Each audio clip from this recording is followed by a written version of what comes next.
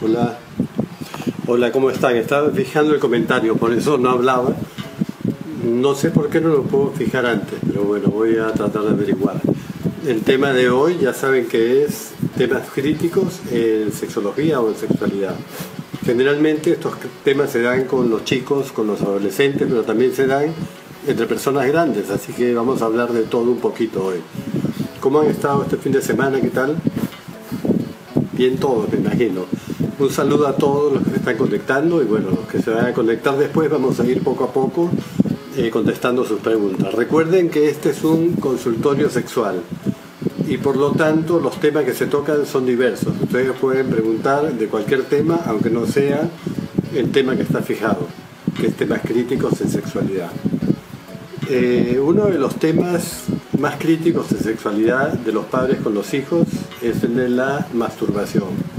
Nosotros hemos hablado en otras ocasiones de la masturbación ya en personas adultas, en personas casadas. Pero ¿qué pasa cuando encuentras a tu hijo masturbándose? Ya sea un adolescente, un puber, o sea, ¿cómo reaccionarías? Esa es la pregunta crítica. ¿Y qué haces si encuentras a tu hijo pequeño también que tiene 6, 7 años, que está tocándose los genitales como si estuviese masturbándose? Bueno, esto quiero aclarar primero que cuando es un niño, él no se está masturbando, él solamente está jugando con su genital, ya sea un niño o una niña se está acariciando los genitales porque eso le produce placer, pero no hay finalidad erótica de ningún tipo en esa actividad. Ellos saben que es placentero, lo disfrutan, les gusta y nada más.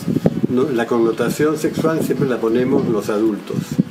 Ellos no están en ese tema, ellos están disfrutando, acariciándose el cuerpo y hay que hablar con ellos porque lo hacen en público tenemos que explicarles que es una actividad que entendemos que le gusta, que se siente cómodo, pero que tiene que realizarle en su habitación como ya necesito a mi pareja, hay problemas, tengo intimidad en esta cuarentena, ella no vive conmigo. Ese es un problema que tienen muchos, o sea, que están sin pareja, que están separados en este momento. Pero hay temas que tú puedes, hay técnicas que puedes utilizar, o sea, puedes utilizar las redes sociales para comunicarte con ella y tener actividades sexuales con ellos. Saludos, Pucalpa.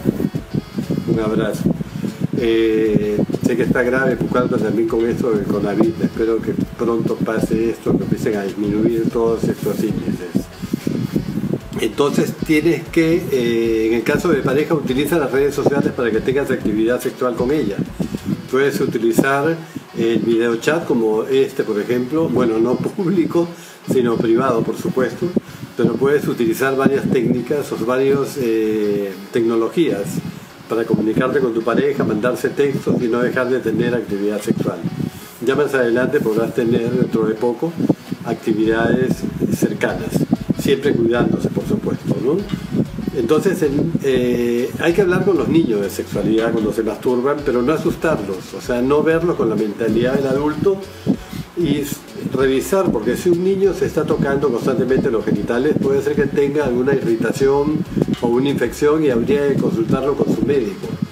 O puede ser que haya observado a otras personas haciéndolo. Vamos a ver una pregunta que tenemos por acá. Todo se conversa, muchachos, es beneficioso para los dos. En los varones, nuestro picnic, educar y debemos comunicarnos es lo máximo. Sí, que, ¿qué tal, José? ¿Cómo estás? Tenemos que comunicarnos al máximo con estos temas.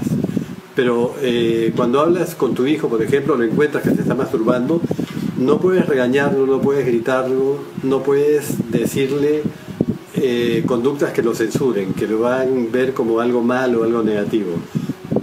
Si lo hace muy seguido, como te digo, puede ser que tenga alguna infección o también que haya sido abusado sexualmente o que esté imitando conductas de otros porque las ha visto en otras personas o probablemente esté aburrido y no tenga muchas actividades o simplemente porque le gusta, que es lo más probable, que lo haga por eso, porque siente placer y le gusta. Nada más, no hay que preocuparse mucho con ese tema. Ahora, claro, hablar es con mucho tino, en mi caso son mujeres, sí también, o sea, las encuentras masturbándose, tienes que decirles, entiendo que esto produce placer, pero es una actividad que tienes que eh, hacer en privado. Ojo con esto, la privacidad también es muy importante. Tú no puedes entrar a la habitación de tus hijas sin antes anunciarte igual que ellas no deberían entrar a la tuya. ¿A partir de qué edad recomiendas hablar de la masturbación con las niñas?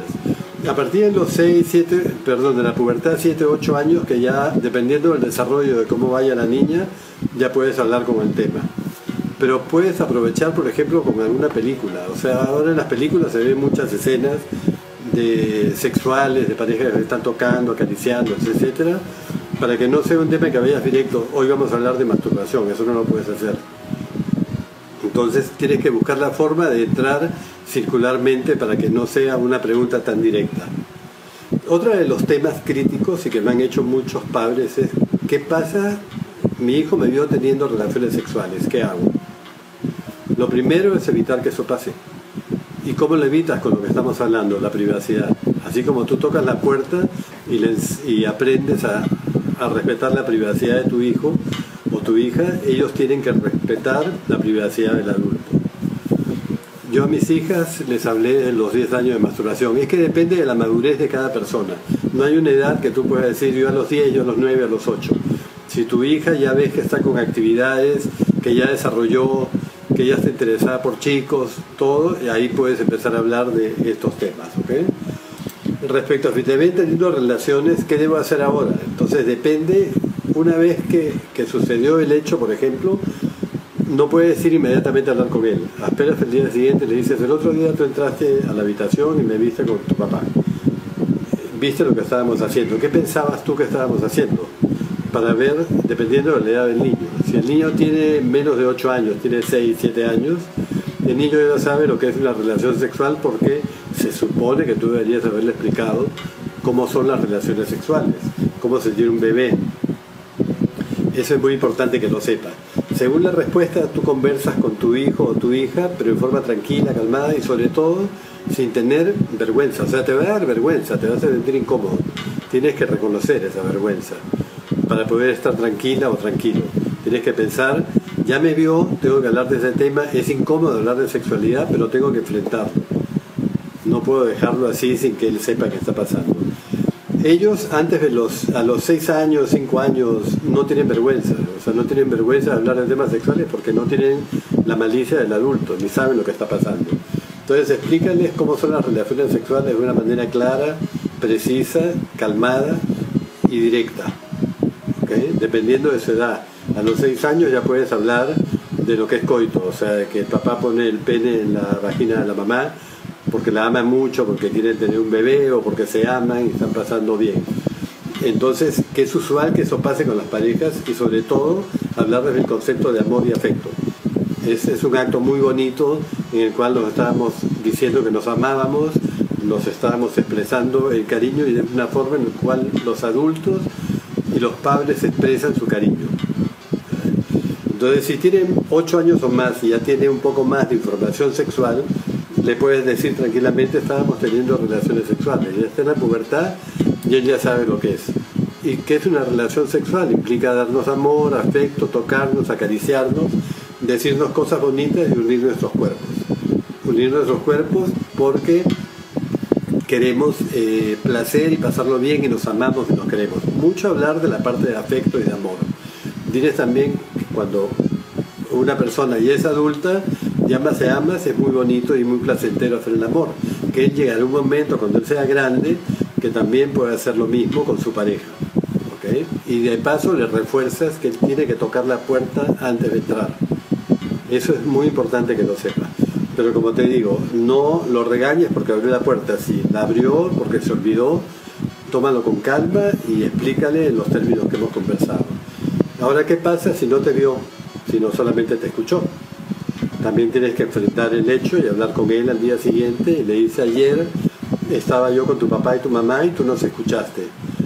Entonces, cuando la gente mayor se ama, se quiere y expresa su afecto, muchas veces lo, lo hace con gritos o, o con suspiros y eso es normal porque nos amamos y queremos demostrar nuestra emoción. Y ese tipo de ruidos que has escuchado tiene relación con eso. De inmediato es hablarte con la verdad. O sea, no en el mismo momento, pero el día siguiente sí. El placer sexual ellos tienen que entender que es natural, que tú no tienes que sentir vergüenza por expresar tu sexualidad con tu pareja y que por eso hay mucho amor y mucho afecto. Utiliza palabras que se ajusten, por supuesto, a la edad de la persona, del niño o del adolescente O sea, ellos quieren una, no que le describas el acto sexual, sino una explicación eh, clara, precisa y que después le digas o le permitas que te haga preguntas, porque pueden tener curiosidad. Entonces, haz que te pregunten o trata de convencerlo. Eso es importantísimo que lo tomen en cuenta. Otro tema crítico es la homosexualidad. O sea, ¿qué pasa con la homosexualidad? Los niños están expuestos y reciben información a través de la televisión. Aparte de las películas, ¿cómo podría llegar a una conversación con mi sobrino de 6 años de edad? De 6 años de edad ya si tú puedes tocar la conversación a esa edad. Eh, no sé qué has conversado. ¿Has conversado algo ya con tu sobrino alguna vez? Porque es importante que él conozca eh, la privacidad y el respeto a su cuerpo, hacia su cuerpo. Que nadie puede tocarlo, que nadie puede acariciarlo de ninguna manera, que si lo hace te avise, etc. Depende de lo que hayas avanzado. Pero a los seis años le puedes preguntar, por ejemplo, ¿sabes cómo se tienen los niños? A ver qué nivel de conocimiento tienes si tú no has hablado con él. Y vamos a ver, de acuerdo a la respuesta, tú vas eh, respondiéndole. A partir de los seis años, como les digo, ya pueden saber ellos lo que es un acto sexual, pero con palabras suaves. No le vas a enseñar tampoco el Kama Sutra, ni le vas a hablar de, de pornografía o erotismo, pero sí de amor, de afecto y lo que es una relación sexual. Lo que es un espermatozoide, lo que es un óvulo, lo que es eh, cómo se forma y si te pregunta más, profundiza más. Tú tocas el tema y él va a empezar a hacer las preguntas. Lo que pasa es que es difícil cuando es adolescente o puber que tú vayas a tocar un tema sin que él te lo pregunte. Tienes que buscar una situación que pase, por ejemplo, para poder hablar. Gracias, Clara. ¿Cómo estás? Clara también es colega, trabaja conmigo en Teseo. Eh, bueno, entonces seguimos. Los niños entonces están expuestos por los medios. Les contaba que me escribió una persona, un paciente de otro país, de Chile, me contaba que su hijita estaba viendo pornografía. Tiene 7 años, 8 años. Ve pornografía y ve comiquitas, ve eh, dibujos animados eróticos, pornográficos. Le digo, pero ¿cómo pornográficos? ¿Cuáles ve? No sé, son juguetes con muñecos, que salen muñequitos, que tienen eh, relaciones, muestran sus genitales. Muchos de los dibujos japoneses muestran escenas sexuales. Por ejemplo, muestra eh, Candy Candy o Los Caballeros del Zodíaco, muestran escenas que confunden a los niños, de dos hombres, por ejemplo, abrazados, con cuerpo a cuerpo pegado, porque uno tenía mucho frío y el otro le pasaba calor con el cuerpo, pero una escena que lo llevaba al erotismo. Otra chica que tenía los senos expuestos porque el chico le había roto la cabeza, el, el dibujo animado. Entonces van a ver escenas de ese tipo. Pero ¿qué pasa? Que en Japón ellos no tienen problemas para hablar de sexualidad, cosa que a nosotros sí nos pasa. A mi hijo de 14 años le he dicho que si se masturba con mucha frecuencia le puedo causar problemas de grande. ¿Está bien? No, no está bien no está bien porque eh, masturbarse no tiene ninguna consecuencia negativa. Es más, cuando tu hijo es un adolescente, lo que comúnmente hace un adolescente es masturbarse varias veces al día. Porque cuando descubre la masturbación, eh, le pasa eso. Acuérdate cuando tú eres adolescente. Tú te puedes masturbar todos los días, varias veces al día, cada dos días o cada tres días. Y es una frecuencia alta de masturbación. Y es una forma de que tú aprendas a conocer tu cuerpo y conocer tus tiempos sexuales.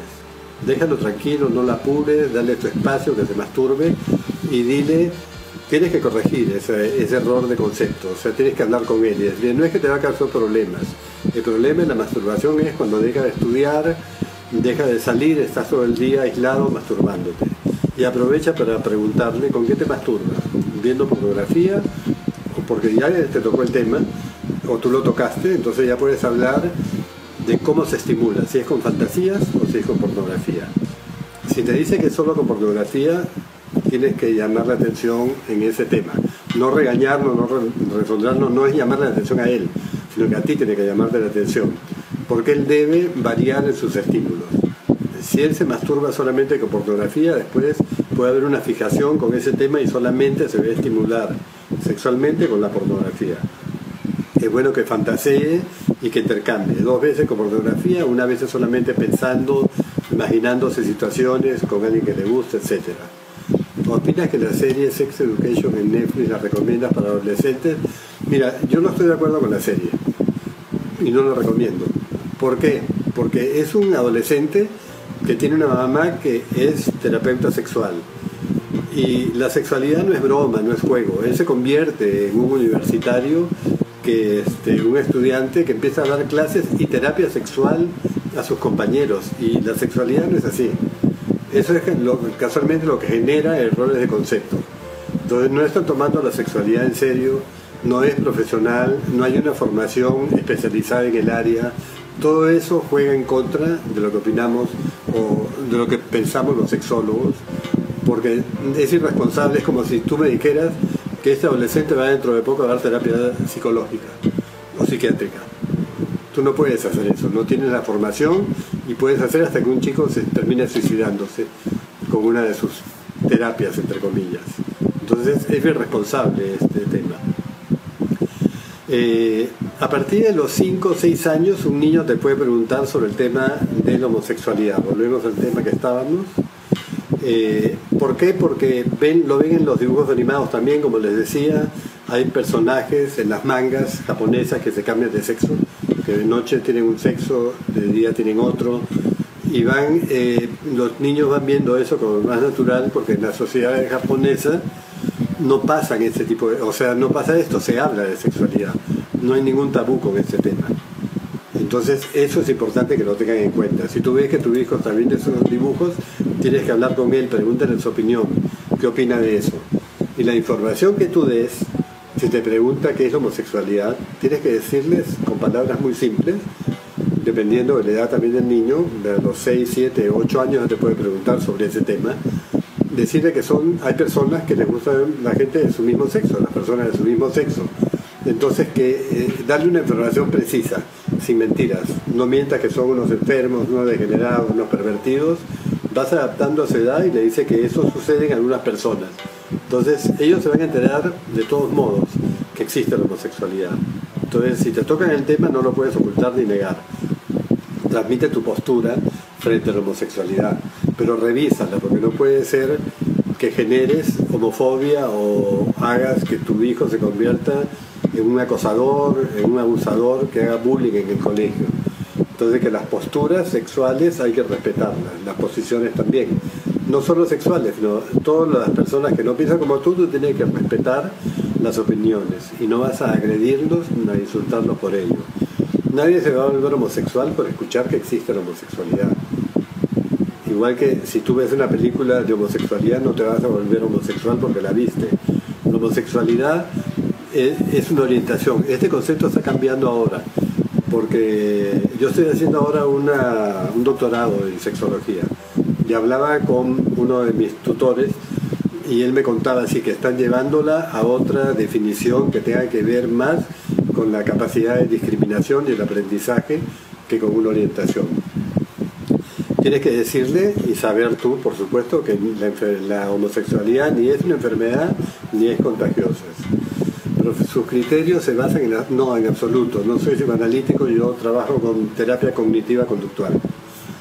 Esa es la formación que tenemos en, el área de sexología, que es la más efectiva además en la terapia sexual. Entonces, recomendaciones cuando hables del tema de homosexualidad. Hablar con naturalidad. O sea, no te pongas nervioso cuando te toque ningún tema que te pueda parecer complicado.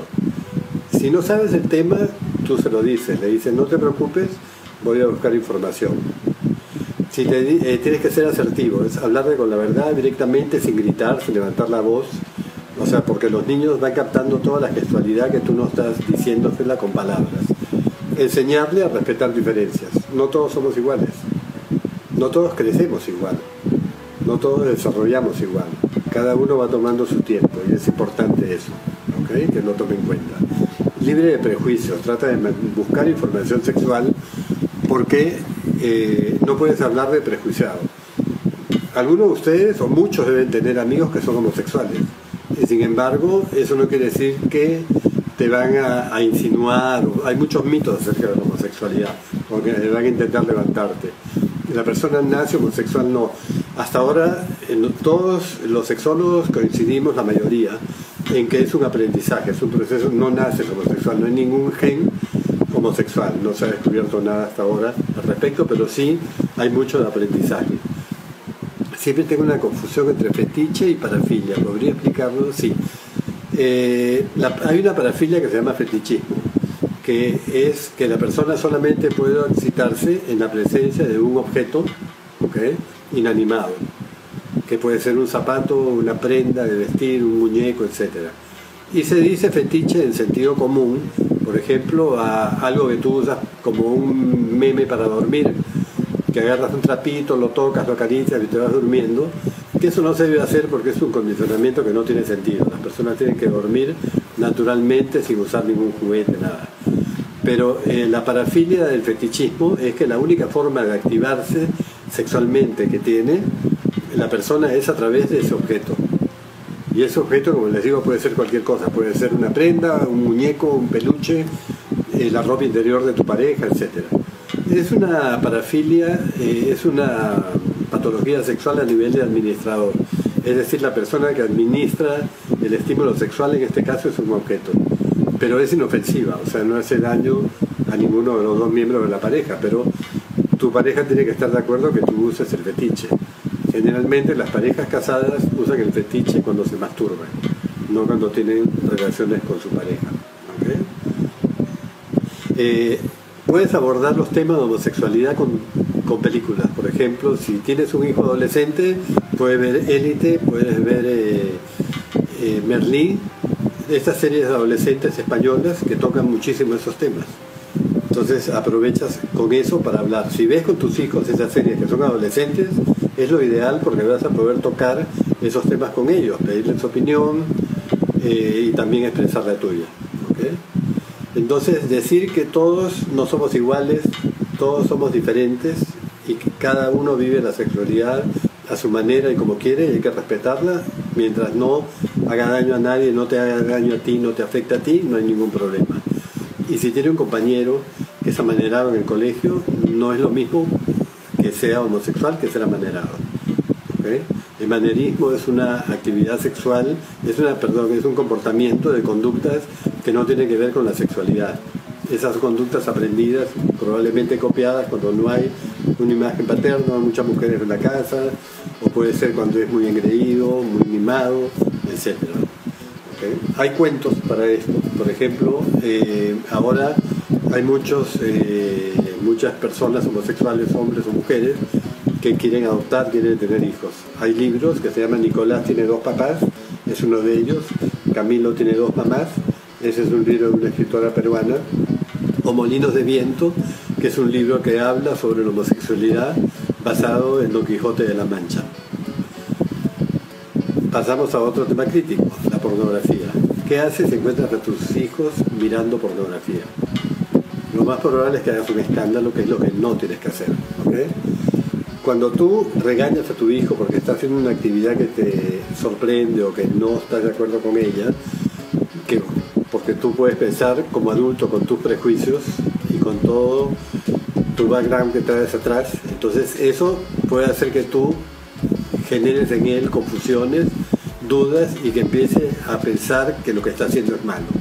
Y eso es lo que tienes que tratar de evitar. La pornografía tienes que explicarle, tienes que hablar con él de este tema. explicarle que la pornografía por sí sola no es dañina, no es mala que no puede ser la única forma de estimulación, como le dije ahora, para la masturbación.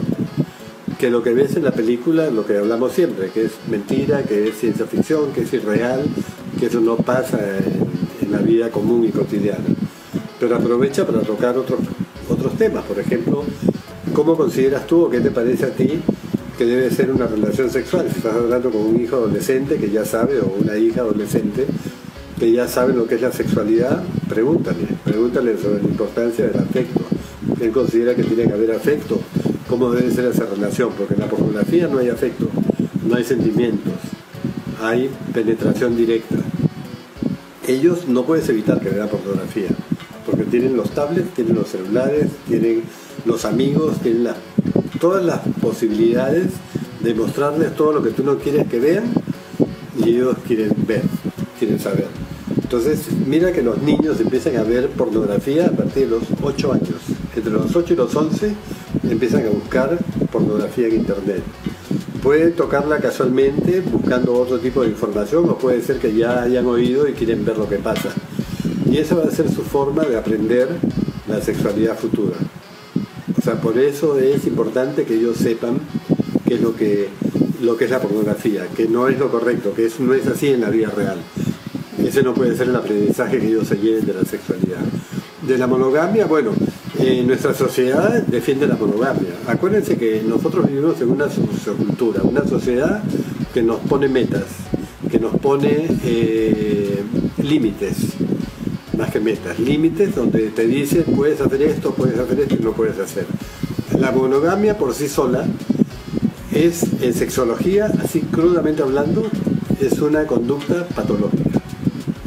Porque eh, olvídese de los criterios morales, estamos hablando de ciencia. Tú deberías poder tener eh, relaciones sexuales con cualquier persona. Eso es lo fisiológico, es lo que funciona. Si tú solamente tienes con tu pareja y no puedes tener con otra persona, es una patología.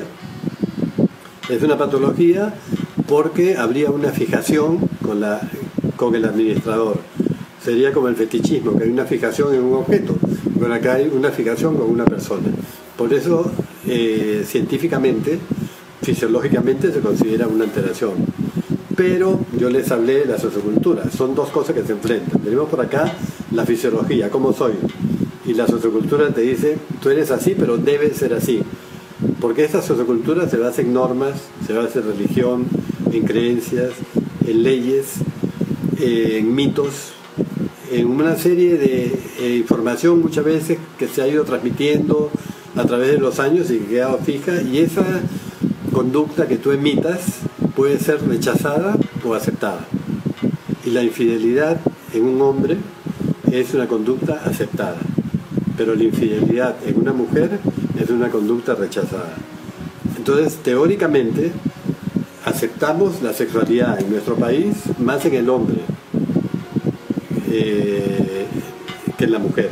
Una mujer infiel tiene un montón de calificativos y generalmente el hombre termina en ruptura o hay más riesgo de que termine en ruptura. La monogamia es la forma tradicional que tenemos nosotros de vivir y está aceptada por la sociedad. O sea, las conductas fisiológicas o patológicas la sociedad las puede aceptar o las puede rechazar. En este caso, a pesar de ser una conducta que no es patológica, que es patológica, la acepta. Las personas que hablábamos el otro día, no sé si estuvieron en el programa, si estuviste, en el programa que hablamos de poliamor y de relaciones abiertas, ellos piensan que la monogamia es muy aburrida, que tú no puedes vivir siempre con la misma pareja y por eso buscan relaciones con otras de afecto, de amor o también únicamente por placer. Entonces la monogamia es un tema delicado, pero cuando hablas con criterios morales de nuestra sociedad, la monogamia es una conducta aceptada porque la poligamia es aceptada en algunos países eh, maometanos, países no religiones o islámicas, las acepta. Entonces, ese es el tema. Es un tema, a veces hay temas de sexualidad que son crudos, pero que fisiológicamente es una cosa y moralmente es otra. Entonces no podemos basar todos nuestros juicios solamente en la moral o en la costumbre. Porque hay conductas, por ejemplo, que son patológicas y que las estamos aceptando. Cuando tu pareja te pide a ti la clave de tu celular y te, te dice mándame fotos para ver con quién estás, esa es una conducta patológica. Porque esta persona te está controlando, es una persona celosa y está pasando por encima de ti, no está respetando tus derechos. Sin embargo, la sociedad la ha normalizado y la acepta. Es más, tú le das la clave de tu celular sin ningún problema, o no le pones clave a tu celular. No sé si se ha quedado pegado porque no veo que se mueven las preguntas. ¿Me están escuchando? Otro de los temas relacionados, estoy suponiendo que me escuchan, otro de los temas que están relacionados con la pornografía es preguntarle dónde la vio. Es decir, cómo encontró ese material pornográfico si es un chico de 8, 9, 10 años. Fue por accidente, fue a propósito, buscó, quiere saber algo, quiere saber algo de lo que no estamos hablando, alguien se la mandó, qué piensa de lo que vio en la pornografía. Gracias por avisarme que yo pensé que me había quedado pegado. Entonces, tienes que ser muy claro en las preguntas. Entonces pregúntale y pregúntale qué opina él o ella al respecto. Cuando ven pornografía, por ejemplo, es un aprendizaje que ustedes también vieron. O sea, siempre pónganse en el lugar de ellos. Acuérdense que ustedes también fueron adolescentes. Acuérdense que a ustedes nadie les hablaba de sexualidad. ¿Dónde ibas a buscar información? Ahora es más fácil para ellos por internet. Antes buscábamos en libros, en otro tipo de cosas, con amigos, con las conversaciones. Pero si es un niño de 6, 7, 8 años que está viendo pornografía, obviamente eh, tienes que poner controles, tienes que ponerle controles parentales y decirles que la pornografía no es para niños, ellos no pueden ver ese tipo de películas, pero sobre todo no dejarles la televisión en el cuarto a los chicos. O no es bueno que ellos tengan televisión y que tengan acceso a internet porque pueden ver lo que ellos quieran. Entonces, conforme vayan creciendo, tú vas explicándoles que esto no es la vida real. ¿Usted recomienda lo sexual a poligamia? No, esas son decisiones personales. Yo no puedo recomendar la poligamia ni la monogamia, porque son decisiones que toma uno. O sea, nosotros, los psicólogos, sexólogos, no damos recomendaciones de ese tipo, de, que tengas otro. Es como que me estuvieras pidiendo permiso para ser monógamo o polígamo. Entonces, no es lo que se acostumbra. Ahora, eh, la pornografía, por ejemplo, em, muestra la actividad sexual que tienen dos personas, que es como tienes que explicárselo, pero cuando es un niño no es no es para tu edad. Y cuando es un adolescente, decirle, pero date cuenta qué es lo que está quedando por fuera. O sea, quedando toda la parte afectiva, todo lo que es amor, todo lo que es cariño, lo que es afecto, y la mayoría de cuerpos no son como se ven en la película pornográfica. No todos tienen esos cuerpos perfectos. ¿okay? Y que decirle que a veces la gente mira pornografía, sí, yo también miro pornografía a veces, porque es una forma de variar. Vamos a cambiar de tema crítico. El próximo tema crítico es la primera vez. Si tienen hijos pequeños, les van a preguntar la primera vez cómo va a ser la primera vez. Entonces es muy importante que ellos tengan en claro varias preguntas. Por ejemplo, ¿cómo saber si estás listo para tu primera relación sexual? Es difícil de saberlo, ¿verdad? porque hay intervención de, otra, de la pareja, por ejemplo, que trata de convencerte para que tú tengas relaciones, aunque no quieras. El grupo, que también te presiona para que tengas relaciones, porque ya todos tuvieron, tienen 14, 13, 14 años, que es la edad de iniciación sexual, y ahí vienen todas esas preguntas. Entonces, lo primero que tienes que preguntarte es, quiero, y eso tienen que saberlo tus hijos, o sea, puedes conversarlo en esa este tema que estamos hablando ahora de la primera vez, más o menos eh, cuando vengan los 10, 11, 12 años, dependiendo de la madurez y el desarrollo, en la pubertad. Porque ellos no pueden ser que no te lo pregunten, pero cuando ya tienen 12 años, ellos tienen que tener claro, 12, 13, porque le da inicio es 13, 14, como les digo, tienen que saber, ¿lo quiero yo? ¿Realmente quiero yo tener relaciones con él? ¿Lo quiere él? O sea, tu pareja. Esto generalmente va para las niñas. Eh, ¿Qué pasa si yo no accedo? O sea, ¿qué va a hacer él si yo no accedo? ¿Sientes que le debes algo o que tienes que cumplir con él para que tenga relaciones? ¿O que le estás dando un premio teniendo relaciones con él? ¿Lo haces por presión? Porque él te presiona, te presionan tus amigos, te está presionando a alguien. ¿Te sientes cómoda con él? ¿Tienes tiempo con él? ¿Lo conoces? ¿Hay amor? ¿Hay afecto? no tienes ansiedad, no tienes miedo, lo conoces bien, eso es muy importante. ¿Es una decisión tuya o es una decisión presionada por los demás? Habla con él, ¿qué pasaría si no tenemos relaciones? Y además que si tú dices, por ejemplo, sí quiero tener y después te arrepientes, él tiene que respetar porque no es no. Conoce los riesgos de tener una relación sexual temprana. Si tienes alguna de estas dudas, no estás listo para tener relaciones por primera vez. Porque tienes que estar muy segura y muy clara como mujer, como niña, adolescente, perdón, no niña, como adolescente que va a iniciarse en la actividad sexual, todos estos temas. Para esto tú tienes como padre o como madre tienen que haberte preparado, haber preparado a tus hijos para tener relaciones sexuales. Tengo un sobrino de 5 que le gustaba que su mamá se ponga un vestido rojo. El niño dormía tocando el vestido y le pedía a su mamá que se ponga el vestido rojo. Bueno, ese es, sí, eh, no es un fetichismo, Porque el fetichismo va para una parte generalmente sexual, orientada a la parte sexual. Pero sí son, como les decía, los trapitos, las sedas que les ponen para dormir o un muñeco que te ponen para dormir. Y el niño se condiciona y va aprendiendo que le gustó ese vestido, lo tocaba, pero él después puede desarrollar conductas fetichistas en el futuro. Y sobre todo con vestidos rojos, porque puede pasar. La textura de la tela de la seda, que les encanta a los chiquitos, o sea, van tocándola, a algunos no, a algunos no les gusta. Pero hay que tratar de evitar eso, porque crea dependencia para una actividad que no debería tener ninguna. Es un fetiche que le gustaba que la mamá se ponga. Claro, pero no es un niño que ese fetiche no tiene connotación sexual. No sé si me entienden. O sea, los niños de los 5 años no van por la parte sexual. Le gusta que se lo ponga porque le queda bonito y le gusta la textura de la tela y bueno, más nada. Y duerme con eso porque se siente relajado y calmado y además, aunque la mamá no se lo ponga, probablemente si va a una fiesta, él puede quedarse con el vestido al lado y empezar a tocarlo.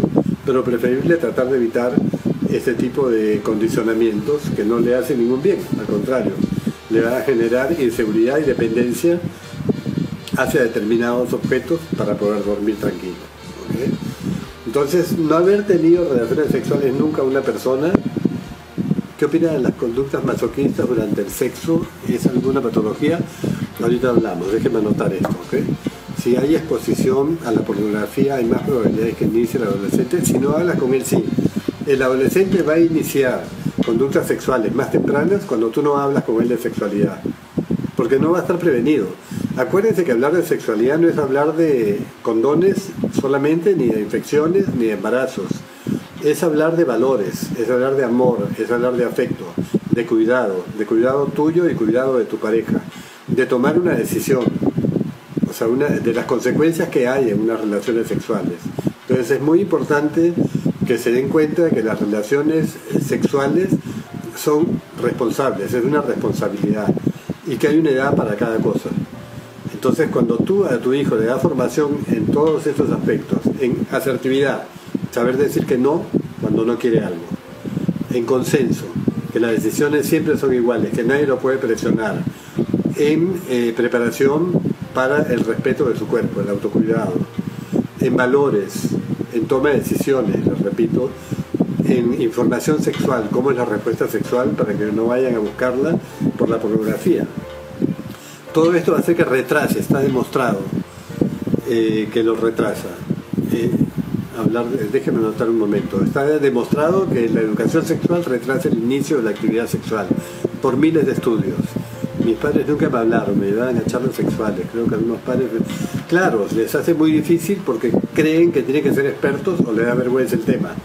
Y lo que tienes que perder es la vergüenza. O sea, te va a dar vergüenza. De todas maneras nos va a dar vergüenza hablar con nuestros hijos de sexualidad. Pero tienes que aceptarlo, es por el bien de ellos.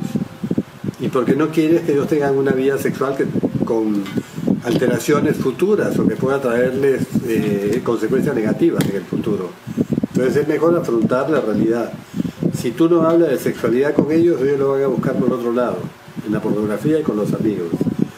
Eh, a partir de los 5 o 6 años, el niño, una pregunta que tenía acá, está preparado para que eh, hablar de sexualidad, de relaciones sexuales. Hablas, cuando tiene 4 años ya le puedes hablar del óvulo con dibujitos y el espermatozoide. Bueno, eh, déjame anotar la próxima pregunta para terminar con esto. Entonces ya empiezas a hablar de los, a los, de los espermatozoides, los óvulos, el útero, la parte interna de los genitales. Cuando tienen seis años ya vas a hablar de eh, la penetración, de que el pene penetra en la vagina de la mamá cuando se aman mucho y quieren estar juntos porque se quieren y quieren, cuando quieren tener un hijo, por supuesto, pero también porque se aman. Pero que eso lo hacen los adultos. Tú cuando seas grande vas a hacer lo mismo, pero es un acto de amor y todo eso tiene que ser muy importante que lo sepas. Lo pueden saber ya, hay cuentos para eso, para niños. Eh, acá había otro tema que me había pasado, del masoquismo. Es una variante sexual, pero se llama BDSM bondad, dominación, sumisión y masoquismo. Pero no es masoquismo como patología, es sadomasoquismo. Es decir, las sombras de Grey, que hay un poco de golpes, pero nunca le hace daño, nunca es un golpe violento que, la, haga sufrir a la pareja. en el BDSM no hay sufrimiento. Hay solamente prácticas que son intensas, que son fuertes, que usan collares de sumisión, muchas cosas, pero es una variante sexual, pero los dos tienen que estar de acuerdo en hacerlo. Eh, llevar a un adolescente a un prostíbulo no es bueno, porque primero va asustado, lo más probable es que tú lo estés obligando. ¿Cuál es la necesidad de que un adolescente tenga relaciones tempranamente? O sea, hay algún apuro para que se inicie sexualmente. Generalmente son los tíos o los papás que los mandan a los tíos para que se haga hombre. Eso, tener relaciones sexuales no te va a hacer más o menos hombre. Déjalo que tenga su pareja y que llegue el momento adecuado para que se inicie. Ahora hay problemas, eh, algunas patologías que tienen algunas adolescentes, por ejemplo ya de 18 años, 19, que nunca han tenido una actividad sexual y no tienen pareja, no se relacionan. Pero eso, para eso existe la terapia de sustitutos sexuales. Pero que en el Perú no está reglamentada, no está permitida. Está permitida en Brasil, está permitida en Venezuela, en Estados Unidos y en países europeos. Incluso tú llevas a tu hijo a un centro y va a ser una persona que es una terapeuta sexual, que no es una prostituta, porque no le va a pagar a la prostituta, es una persona informada y le enseña a tener relaciones sexuales correctamente. Pero acá, si nos ponemos a hacer eso, salgo de primera página en el comercio, como que me, soy proxeneta que dedica a la prostitución. Lamentablemente no podemos hacerla. Doctor, ¿por qué con las relaciones me debilito en los cinco minutos? ¿Qué quiere decir que me debilito? Eh, ¿qué sexo eres? No veo bien la imagen. Porque el hombre generalmente cuando termina de tener relaciones, de relaciones sexuales, eh, aumenta su nivel de oxitocina y baja la testosterona, aumenta la prolactina y te hace relajarte y no te provoca nada, estés muy cansado y después te recuperas, toma un tiempo.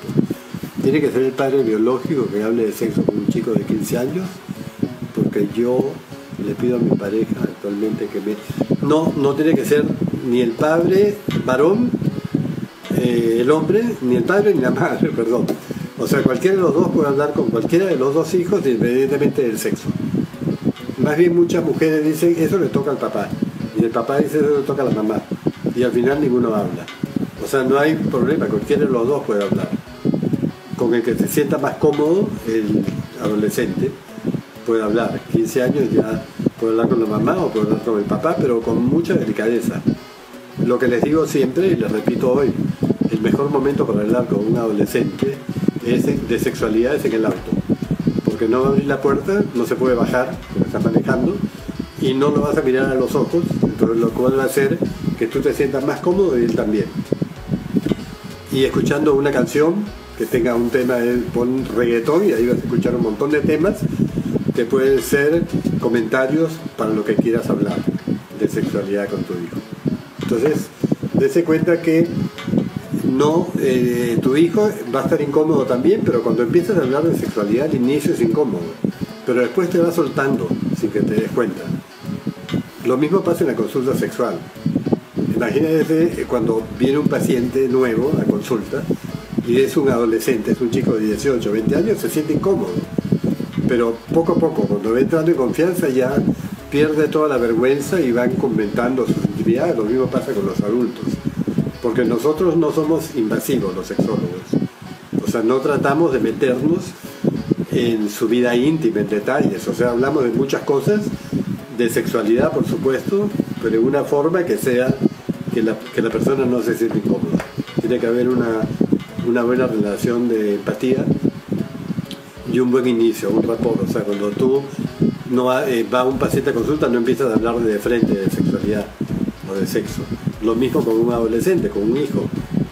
Por eso no puedes darle una charla magistral.